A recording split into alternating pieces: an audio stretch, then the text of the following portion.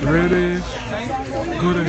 I want to thank the people of Cayo North for coming out and again for standing out strong with us, with the United Democratic Party. Um, the margin was decreased significantly from what we expected. But in this game, a win is a win.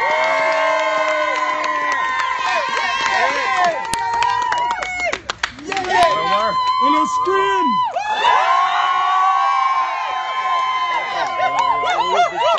Owe time. I owe you big time. Yeah, next door.